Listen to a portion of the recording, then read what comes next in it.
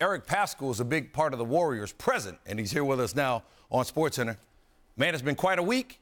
How, Yeah. how have things changed for you in the last week?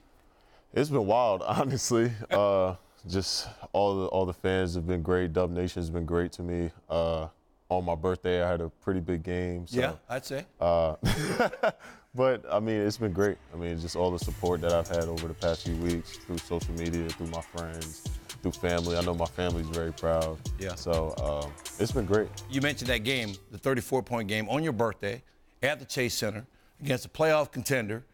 Uh, the top scoring game by any rookie this season with 34 points.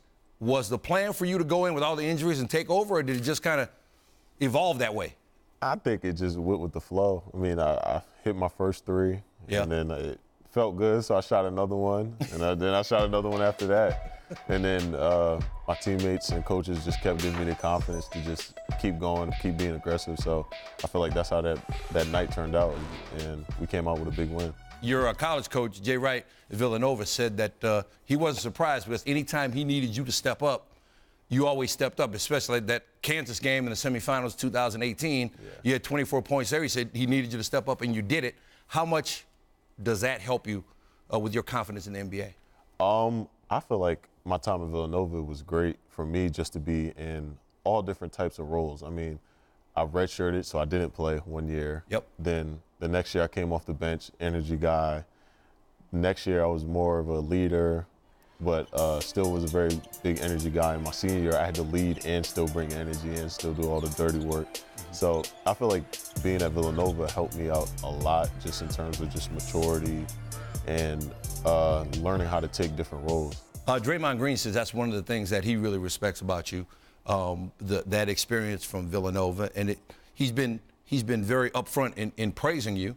Uh, you guys have a similar story in some respects, second round picks and undersized power forwards, known for defense, but then can play with some versatility. What has your relationship with him been like so far? Uh, it's been great. I mean, he's just a great dude off the court. I mean, always, always having fun, always trying to bring energy on and off the court. And learning from him every day has helped me a lot, just because he sees the game in so many different ways, and he's so smart. So I just try to pick his brain however way I can, and just keep trying to learn. We saw the jersey exchange with Donovan Mitchell after the Jazz game.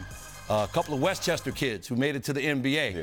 Uh, tell us about that relationship. That that goes back to we first met in church. Yeah. And then I remember uh, Keith Guerra was telling me about a Riverside Hawks tryout in Harlem. I walk in the gym and I see Donovan, and it's so weird because we both went to the same church.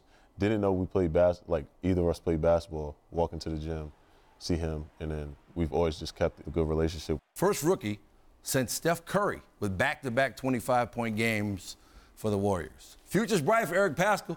Appreciate the time, my man. I appreciate you having me. Thanks for watching E ESPN on YouTube. For more sports highlights and analysis, be sure to download the E ESPN app. And for live streaming sports and premium content, subscribe to E ESPN Plus.